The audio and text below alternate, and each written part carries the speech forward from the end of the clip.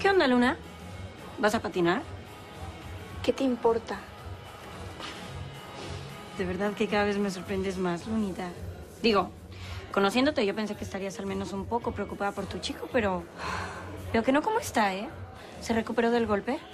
¿Qué se te ofrece, eh? Me enteré que se cayó por tu culpa, Luna. Pobre, ya me imagino lo mal que te debes sentir, ¿no? Igual sabes que yo todavía no te entiendo, Luna. Me parece que él no merecía para nada que lo trataras así. Muy bien. Mira, te voy a contar algo, ¿sí? Todo esto es tu culpa. ¿De qué te ríes? Jugaste con sus sentimientos. Y no solamente con los de él. Jugaste con los sentimientos de todos, Emilia. Ay, ¿tú qué sabes, Luna? ¿Yo qué sé? Emilia, vi el video. Vi el video del beso. Ese beso fue robado. Él jamás te besó. Emilia, le hiciste muchísimo daño. Yo le hice daño. Sí, tú. ¿Fui yo la que no lo quiso escuchar? Contéstame, Luna. ¿Fui yo la que no le creyó? ¿La que no quiso confiar en ni una sola de sus palabras? No te equivoques, chiquita. Mateo se cayó por tu culpa. Fuiste tú la que no le quiso creer, no yo ni nadie más. ¿Y sabes qué? Estoy segura de que el dolor de saber que no confiabas en él fue mucho más fuerte que la caída.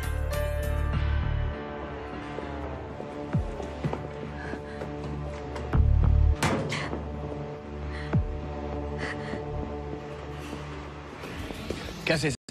Es decir, primero se sale del equipo, ¿no? Y se va con nuestros contrincantes, por así decir.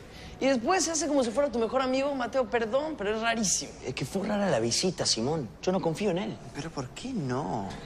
Para mí su interés fue real.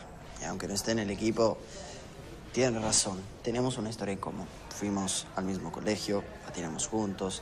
Hasta con él viví la experiencia de los adrenalina.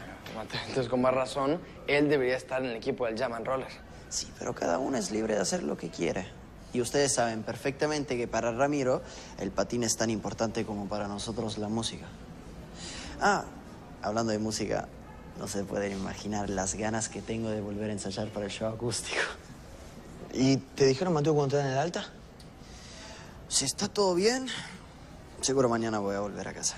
Pero aunque me den el alta, el doctor va a seguir mi progreso y todo eso. Bueno, pero eso quiere decir que ya está mucho mejor.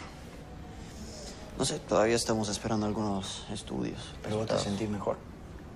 Sí, en realidad me siento todavía un poquito aturdido, mareado. Pero nada, espero que los análisis estén bien. Porque si están bien, eso quiere decir que voy a estar al 100% para el show. ¿Quieres un poquito de agua? Sirve un poquito de tu... ¿Eh?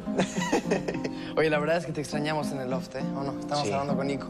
Extrañamos tus ronquidos, tu forma de comer. Bueno, Nico te manda saludos también. y dijimos que te vamos a cocinar todas las noches si venís. Sí. Hugo, no, por favor.